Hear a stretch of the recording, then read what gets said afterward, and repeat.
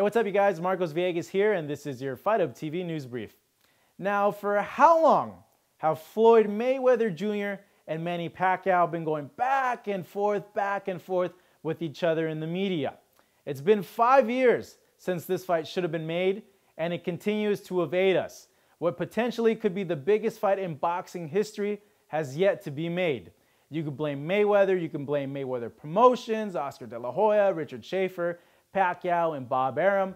You can blame just about every single person involved in making this fight happen.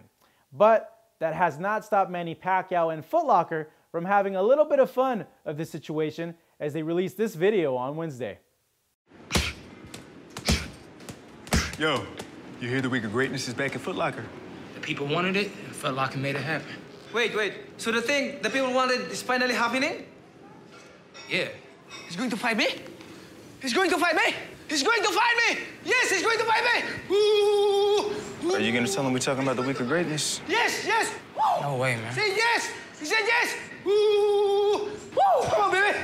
Pretty funny, right? I think that would probably be the same exact reaction that I would have the moment that I hear that this fight will finally get made.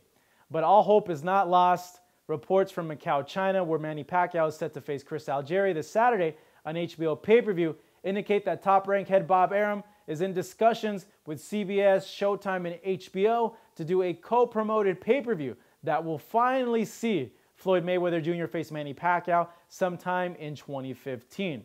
It would be something similar to what they did with the Lennox Lewis versus Mike Tyson fight, in which the winner and whichever network the winner's with gets to show the fight one week later as part of a rebroadcast on their network.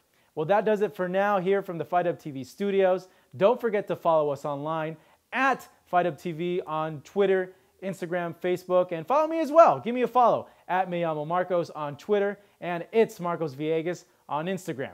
That does it for us now. Thanking you for watching. This is Marcos Villegas, and this has been your Fight Hub TV News Brief.